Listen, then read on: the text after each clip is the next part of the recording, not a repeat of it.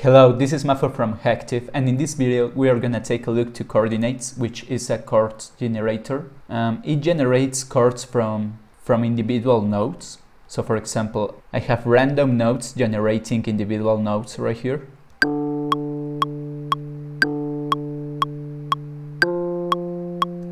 And if I turn on CHORDinates, it will create chords from those individual nodes.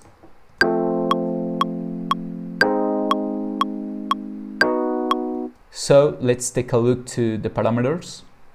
First, we have this knob where you can select up to 20 different chord types.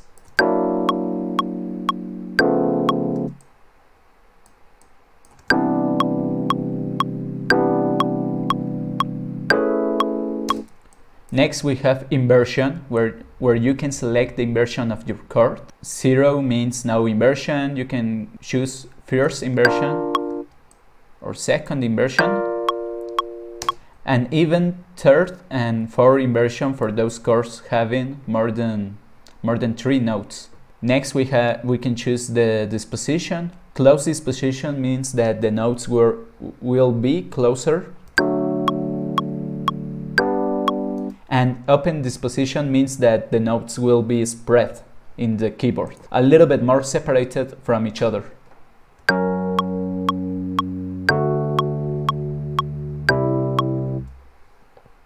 Next we have strum.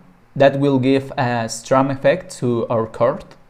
We can choose between free and sync value. When you have the free mode, you can select here in milliseconds the value. Positive values will strum up and negative values will strum down.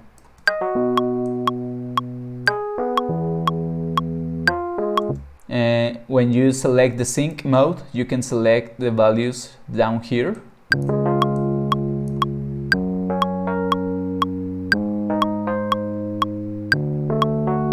And you can select the direction right here, up or down. And well, those are the parameters of CHORDinates and you can randomize all of them right here in this section. So for example, we can randomize the chord type. It will trigger random values with each individual node coming into CHORDinates.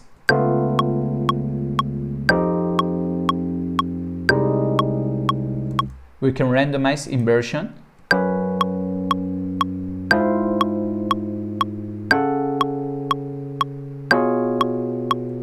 we can randomize the disposition. Disposition doesn't have minimum or maximum because it only it only chooses between two values, two options, close or open. But right now I'm gonna leave it open.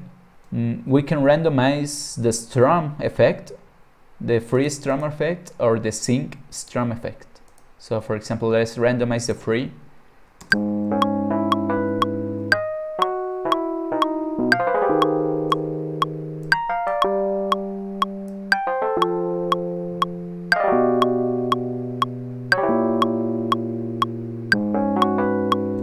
Set the probability for each one. So for example, if it's set at 0%, that means that it will never create a new random value.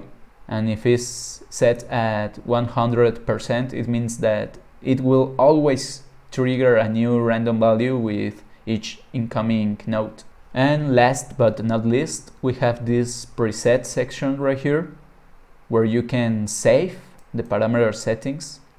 So for example, if I want to save these settings, I can go here, I can choose any empty slot and I can click right here in save and it will save this it will save all these parameters into the slot number one.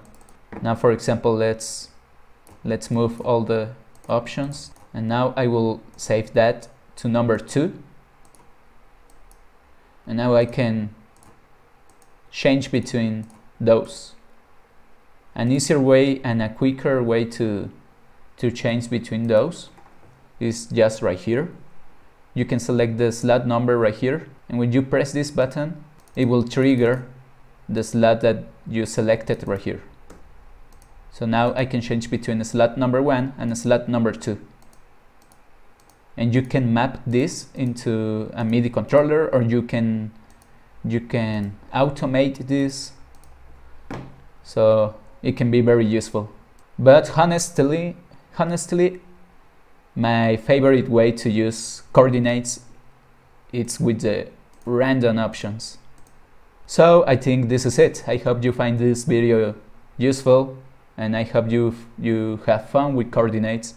It's free so download it and see you in the next one